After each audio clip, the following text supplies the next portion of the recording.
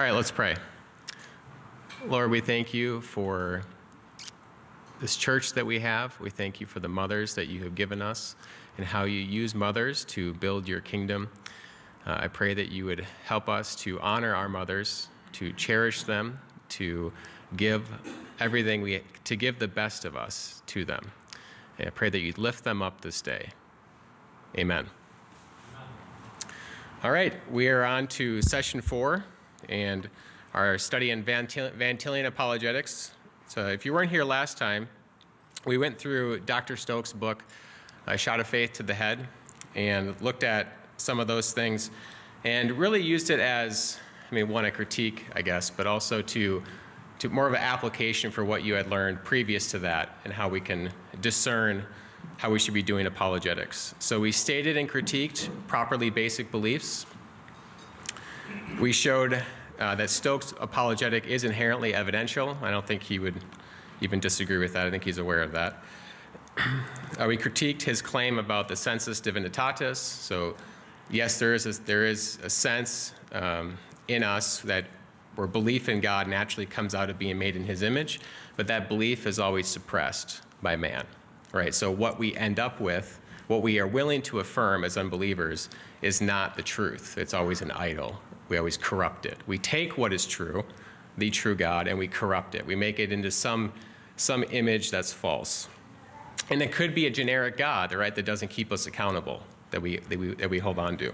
He gives us comfort when we want to pray, something like that.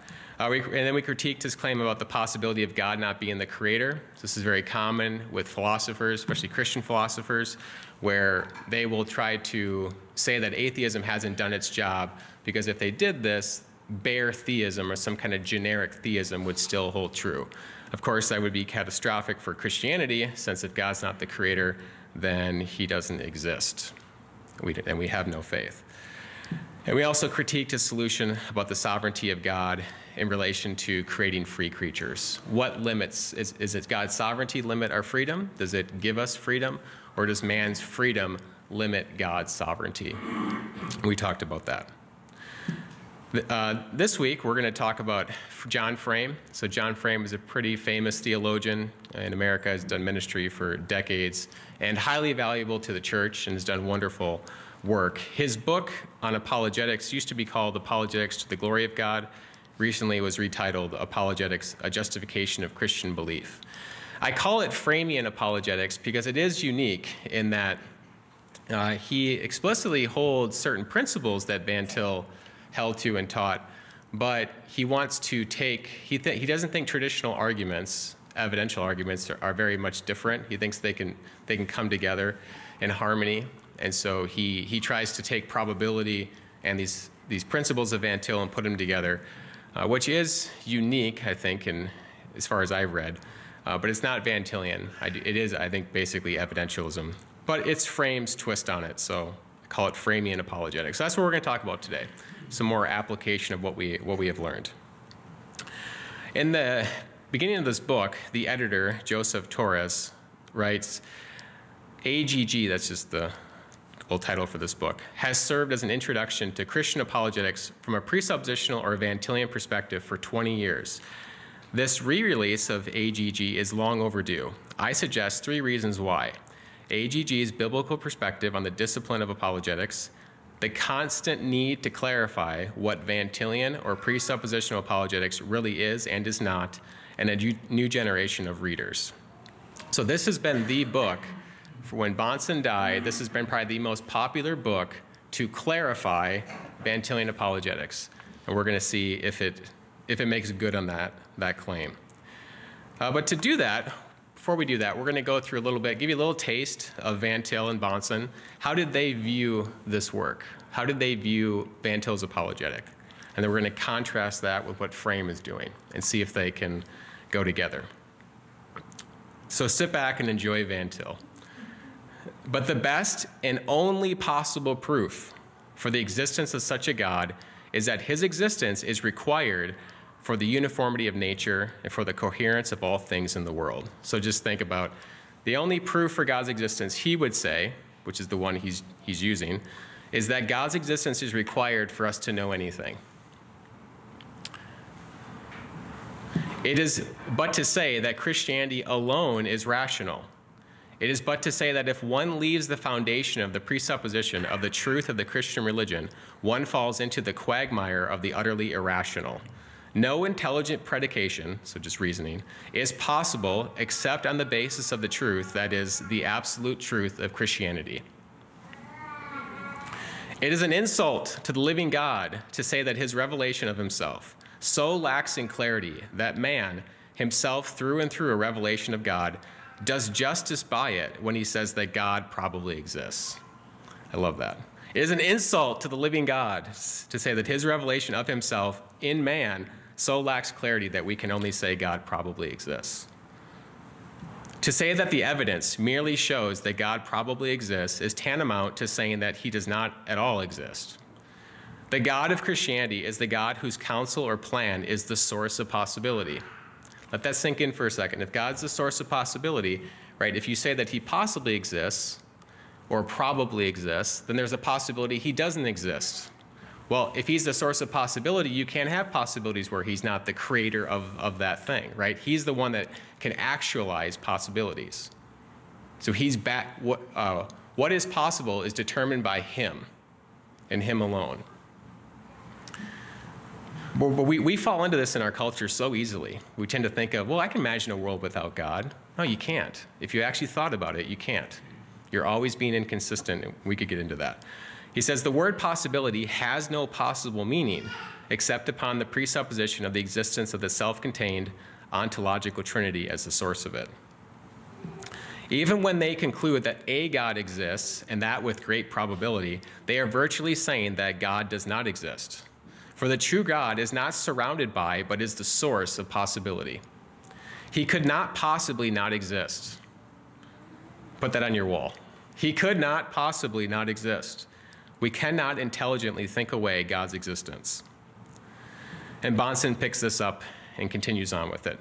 He says, And by pressing the unbelieving worldview to its consistent conclusions, we come to see that the transcendental necessity, and thus the epistemic certainty, not merely the probability of the Christian worldview. Okay, so we're, we're in the business of epistemic certainty, not probability with Van Til. Anyone who knows Van Til's teaching and writings knows that he never tired of making known this high demand for the task of apologetics. Now he's going to quote Van Til. Van Til writes, We cannot allow that if rational argument is carried forth on true premises, it should come to any other conclusion. If you start with truth, whatever truth that is, you, you will never come to anything but the truth of Christianity if you're, being if you're reasoning correctly. All truth is God's truth. Van Til aims for rational certainty, while his critics settle for less, namely, namely probability. So there's, there's a it's uh, clear contrast between rational certainty and probability. The critics of Van Til are probabilists, evidentialists, and Van Tilians are not. And this is very clear from Van Til, as we read, and now also from Bahnsen.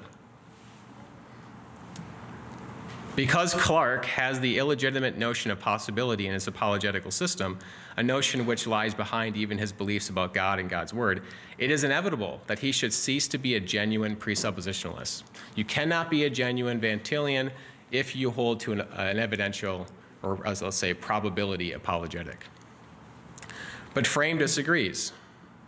Frame writes, this is in the beginning of his book. Van Til always said that there was an absolutely certain argument for Christianity, but he rarely produced an example except in the barest outline form.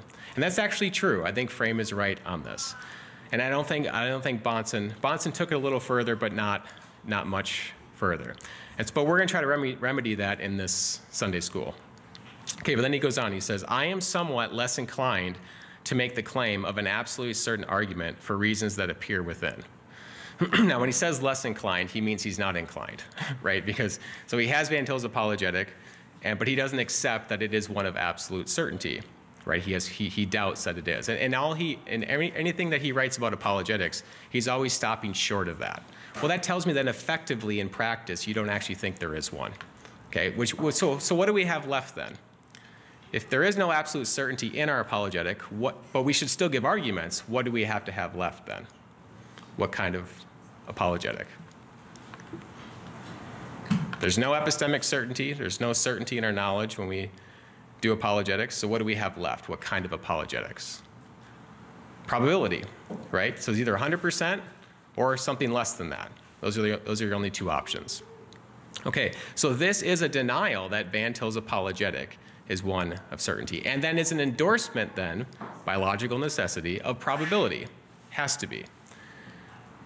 All right, so let's look at this. So Van Til and Bahnsen teach that Van Til's apologetic is one of epistemic certainty, and they also teach that probable arguments are inconsistent with Van Til's apologetic. Frame comes along and says that Van Til's apologetic is not one of epistemic certainty, and then says that probable, and then by implication, probable arguments are consistent with Van Til's apologetic.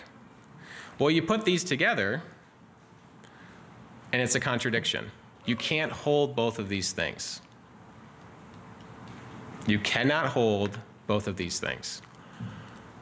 All right, well, so if the issue then is not whether we side with Frame against Bahnsen in interpreting Van Til. That's a common statement made by James Anderson at RTS and some other people who follow Frame, who are Framians, is, is that they're just siding with Frame against Bahnsen and how they interpret Van Til.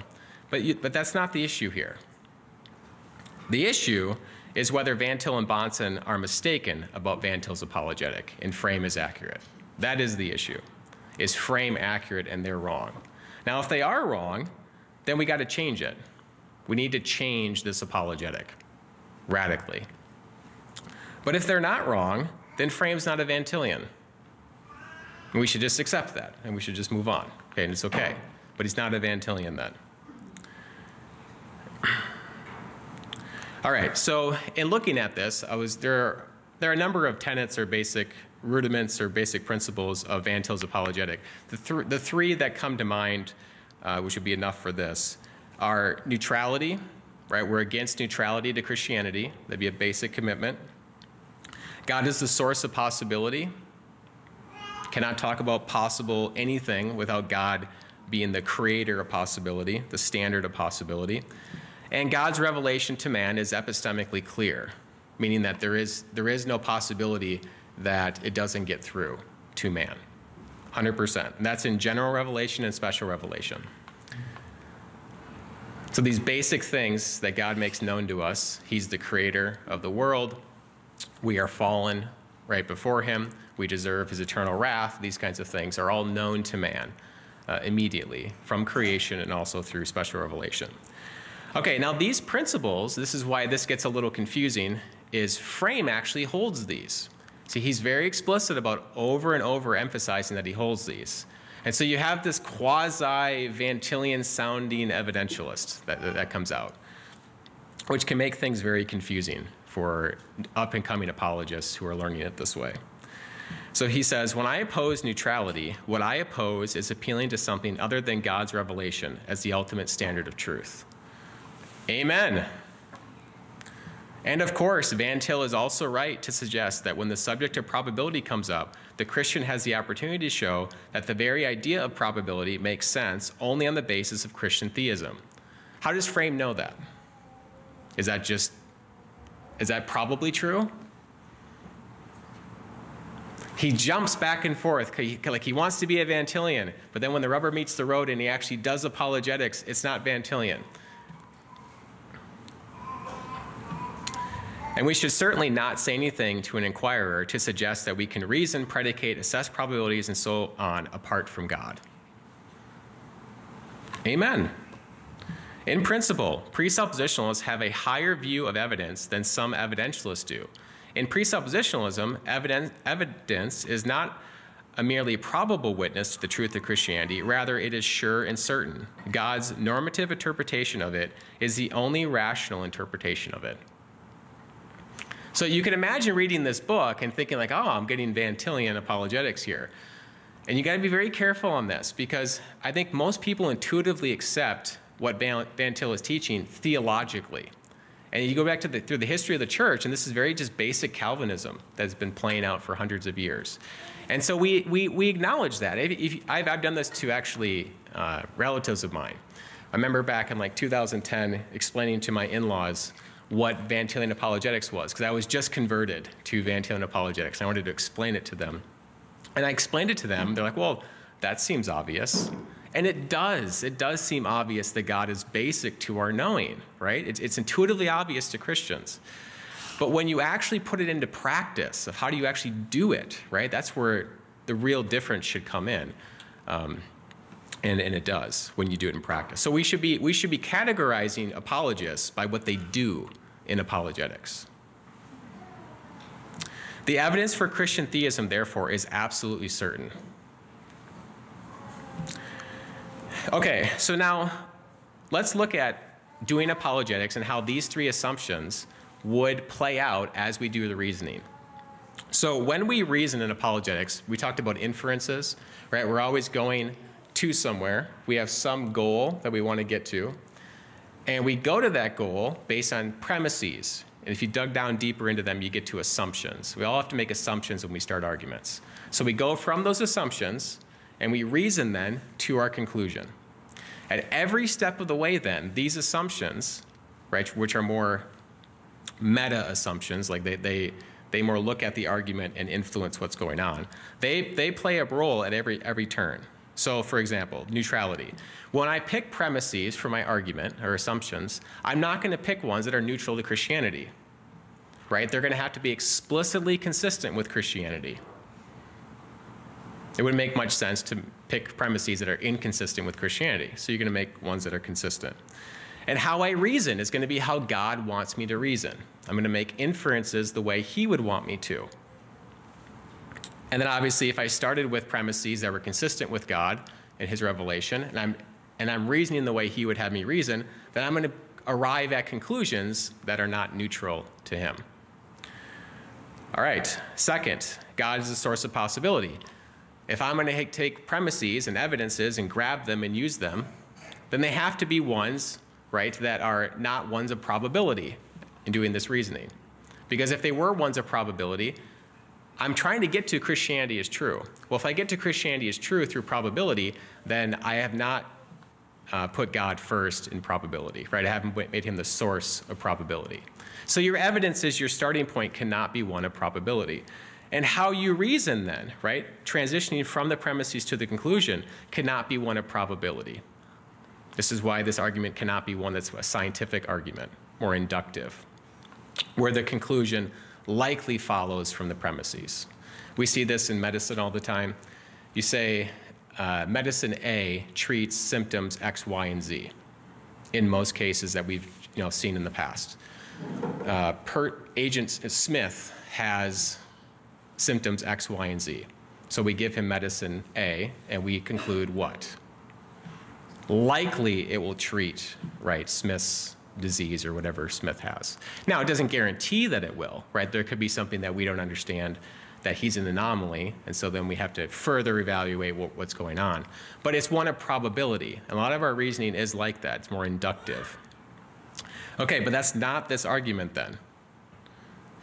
And then the conclusion, of course, uh, can, has to be consistent with God being the source of possibility. And lastly, revelation being epistemically clear. We need to pick things that are immediately clear to man that is true. Stuff that, that you cannot you cannot reasonably um, dis disagree with. And that would be true of your starting point, it'd be true of how you reason, and it's true of your conclusion. All right, so think about that. If, if though, I introduce probability in my conclusion, all of this goes away. If I conclude that it's probably true, Christianity is probably true, well, then I've just denied these, these uh, assumptions. Have to, because if I apply the assumptions correctly and consistently all throughout the argument, then they still hold up at the end. Well, if I conclude that God possibly exists, or probably exists, or likely exists, I've undermined he's the source of possibility. So I have to do something at this point. I have to give up my principles, which is why that's why evidentialists don't hold these principles in apologetics, or I can give up that kind of arguing. But I cannot have both. And if you introduce probability in the end, then you have to introduce it either in how you're inferring the conclusion or the premises or both. It tends to affect almost the entire argument. So God's revelation is not epistemically clear then, and God is not the source of possibility.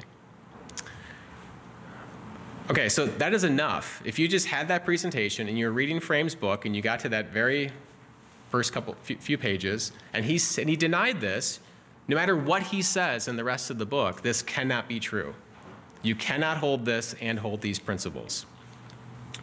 All right, but not, I don't want to just stop there with Frame. I want to go through a few things because what he interacts with is very common with what's been going on since Bahnsen died. So what Frame is interacting with in this book is very common subsequent to, to Bahnsen. So I think it's edifying for us to go through them. And the first thing is the fallibility of man. Put on our thinking caps here for a second and, and look at what Frame says here. He says this is one of the main reasons why he doesn't accept Van Til's apologetic to be one of certainty. He says, but to be honest, we ought to admit that many of our arguments are only probable if only because there is so much room for error in their formulation. Think about that. This is a very, actually a very Kantian way to view the world. So, is it true that our lives are mostly uh, fraught with less than certainty? We tend to think of it that way, that everything is kind of in flux at some level, right? Is this true of our arguments? Well, it depends what he means by arguments. Does he mean mathematical arguments? Because we have tens of thousands, hundreds of thousands, probably millions of mathematical arguments that have not been overturned, and they won't be. That they play with certainty all day. There are, there are proofs that go back thousands of years that have not changed. Many of them, hundreds, thousands of them. Now, we can cosmetically change them, make them a little easier to understand and maybe more specific, but the root of the argument is the same. It still works. So maybe he doesn't mean mathematics, maybe he means theology. Is it true that many, let's just say most, of our arguments in theology are subject to error and therefore could be false? Right, what we conclude could be false. Is that true? This is really important. What's that? It would be. What do we do in church with heretics? You excommunicate them, right? Assuming they don't repent and they you know, don't give up these heretical beliefs. Well, we wouldn't do that if it was probability, right? There's, it's not like we say, oh yeah, it's, it's likely that Jesus is the Son of God, but you know, he might, he might not be. The Bible's not clear, like 100% on that. No, of course not. And the history of the church is wrestling with these things and getting to what we call the plain teachings of Scripture. So whatever are the plain teachings are the non-negotiables. So in our, in our denomination, in the history of the church, we would accept that baptism certain views of baptism are within the bounds, right, of being an Orthodox Christian. Uh, affirming God's the creator or denying it, right, those are not within bounds. You have to affirm he's the creator. You have to affirm the historicity of the Bible. Like, you have to affirm these basic, plain things. So we have hundreds of things we know in theology with certainty. Sure, could you like cosmetically improve it here and there because you made some error in this? Oh, sure, but fundamentally it's, it's not changed.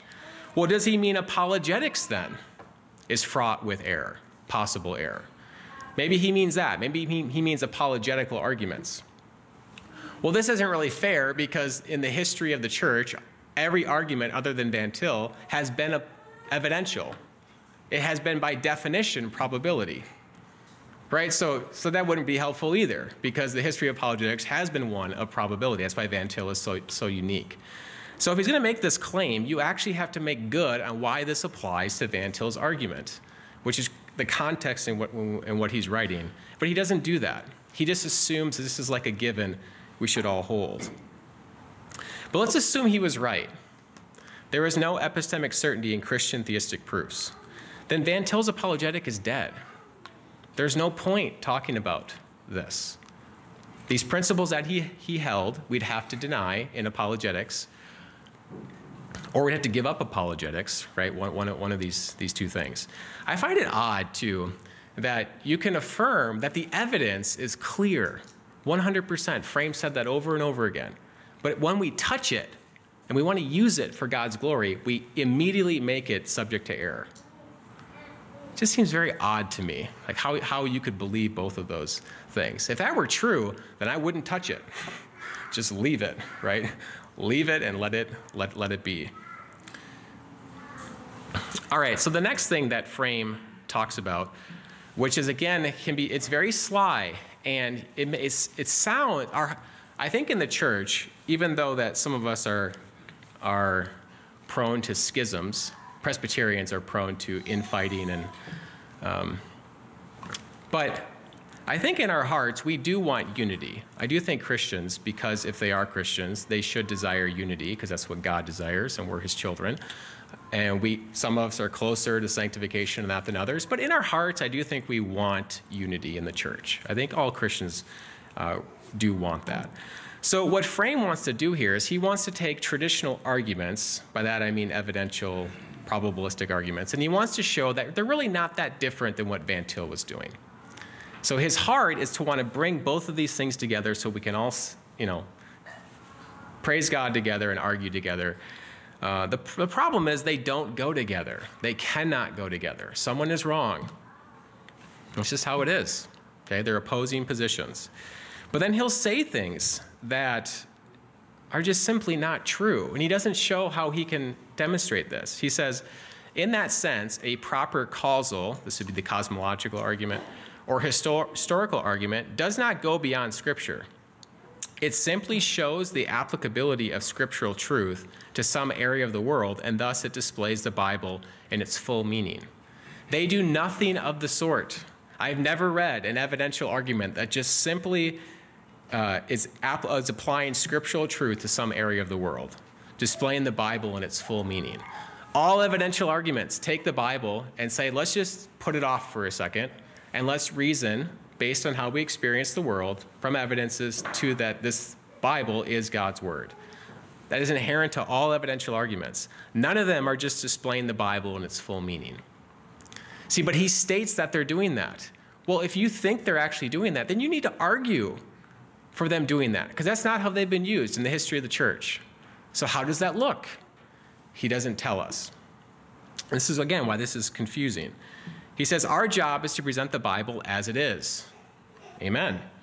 And to do so, we must often refer to it in various contexts. I agree. How does the Bible apply to medicine? How is, how is knowing God exists the precondition of us racing around, you know, racing in cars and solving problems in mathematics? And yes, I agree. None of them are evidential. None of them. There is no context in which the Bible applies in which you use it evidentially. These things do not go together. Okay, and so does that make sense? That, so the heart of it is to, is to bring it together, but these things will not go together. Okay, the last piece I want to get into, and this is just going to be a little taste. We're going to get into more of this later on, more toward the end of our, our Sunday schools. What's the issue of circularity? Who has heard of circularity in reasoning? Some? Great. Excellent. Well, if you haven't, here, here's what's going on. So when we reason, we're going to a destination. Are we currently at that destination? No. What if you were already there, Ben? What if you were already there? Would you have to go there? No, right? That's why it's circular because you're starting where you're trying to go. So you're not going anywhere, right? It's just going in a circle. So is there reasoning that's happening then in this kind of circular argument? Is reasoning actually taking place if you're already where you need to go? No, it's not taking place. These are not arguments. That's why they're, they're rejected. Now, let's say, though, that I hide the conclusion. What if I hide it with a bunch of other things that I assume to be true, other premises? Is it still a circular argument? Yes. Why? I made it harder to find. Still I'm still starting in the same point. Now, let's say I make it really hard to find. It's really down deep in there. Does that change it? No. Psychologically, it does. I'm going to put an argument up here. I'm going to see if you guys can find how it's circular. You can, you can trick people in making arguments very complex, but if at the heart of it is your conclusion, you are not arguing. So if the conclusion is there, it's problematic. It does not work. Doesn't matter what you dress it up with. So I call that formally, formal, formally circular arguments. Uh, some people call them viciously circular. You could say be begging the question, be another one. And this is where it's in the argument. So if you take the argument and you're holding it, and you're looking at the, at the premises, what you start with, if you dig into there, you're going to find the conclusion. That's a formally circular argument. Frame calls them narrowly circular. He says, in the fifth place, I have, in Doctrine of the Knowledge of God and elsewhere, distinguished between narrowly circular and broadly circular arguments. So he's, he's saying that Van Til's argument is broadly circular. That's his term for it. Van Til would say spiral, spirally circular. And we'll, we'll get into what that means. Okay, and I do think it's meaningful, but I don't think Frame understands what this means. We'll get into why that is. But he gives an example of the former, of the vicious. He says, the Bible is the Word of God because the Bible is the Word of God. That's a viciously circular argument. And he agrees that that's not a good thing to use. He goes, I agree with any non-presuppositionalist that this narrowly circular argument is not an apologetic claim in a serious sense. Great. He says, in fact, it acts as a contrast to those arguments that I believe have real apologetic value. Wonderful. But now he says, okay, so what is this broader argument then? You would think in a book that's teaching apologetics in the Van Tillian way would give us a lot of meat on this. It doesn't. He says, so what is the broader argument? The broader argument says the Bible is the word of God because of various evidences, and then it specifies those evidences. So evidentialism, that fits every evidential argument that there is. Eventually, if you stack them together, right, whether, whether you want to use one of them or multiple together, they are using evidences from our existence that we experience and getting to Christianity is true. Well, that's what you just said. So clearly it can't just be that, right? It has to be something more specific. But he never goes into how more specific it should be. He just leaves it out there. And then, but he, and then he's constantly interacting with narrowly circular arguments. And it, it's, it's telling me that he doesn't really understand the distinction between these two things. He, he, he's, he's wrestling with this issue. Okay, so here's an argument that he gives. This is just for us, to, it's an illustration. So, premise one what Scripture says is always true. Scripture says that God exists, therefore, what? God exists. What do you think? Is that a good argument?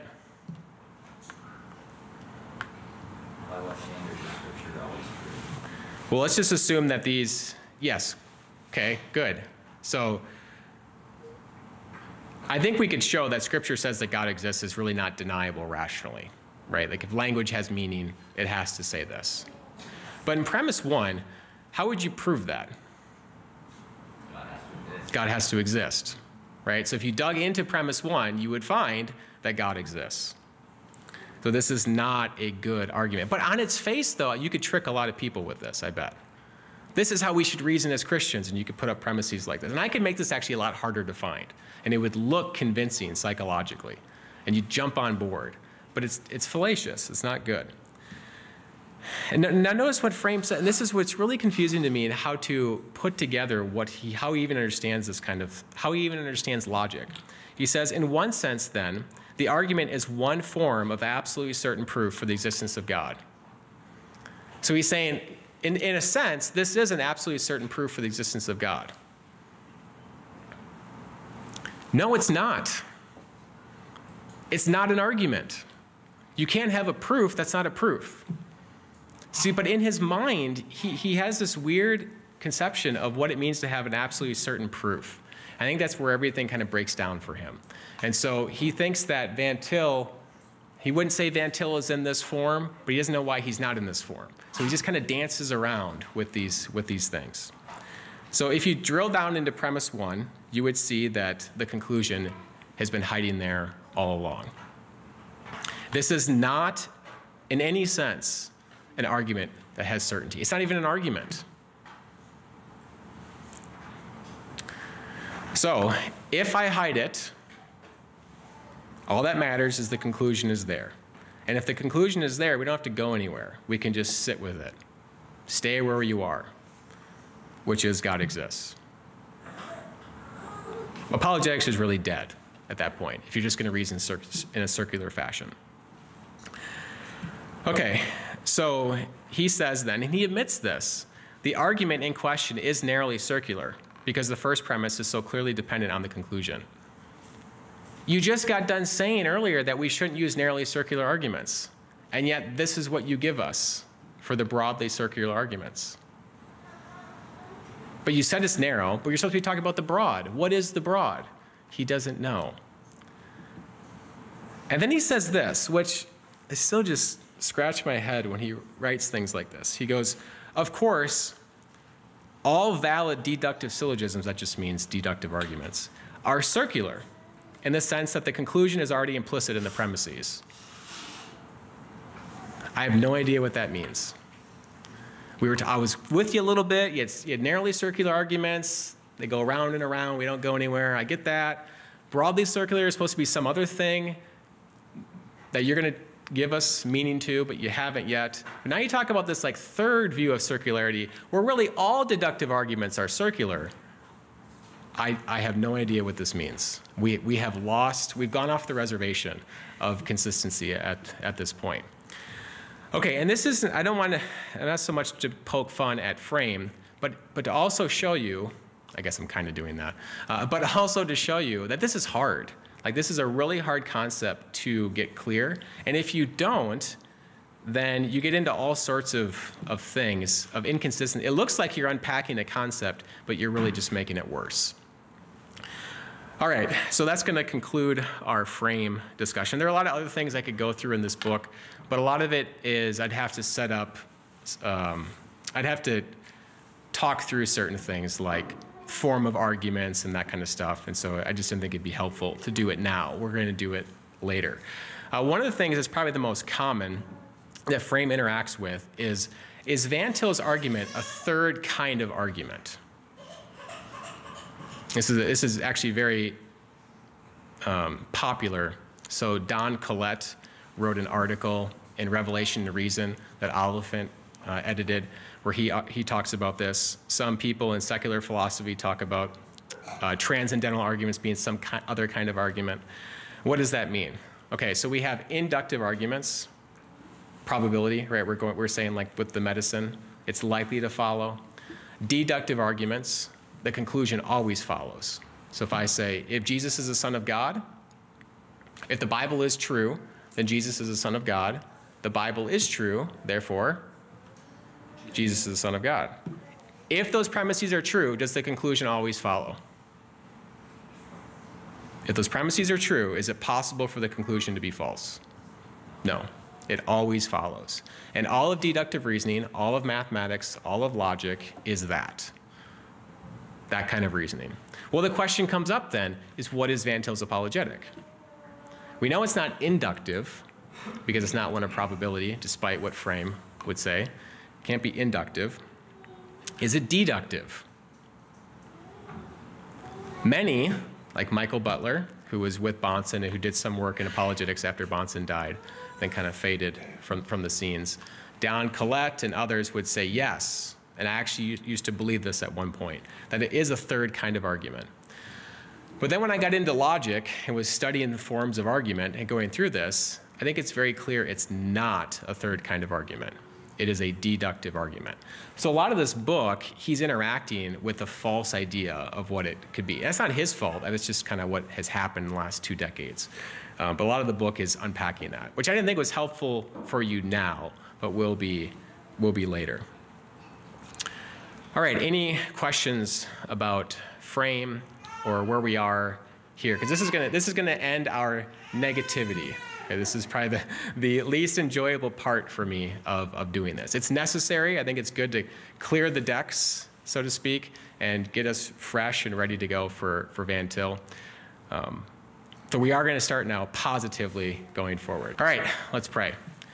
Lord, we thank you for the power of your word. We thank you that you did not leave man in darkness, that you, you planned, you determined how the world would come about and that you would send your son to redeem us, redeem our church, to bring us out of darkness, and to be a light to Minneapolis, to Minnesota, and to the world.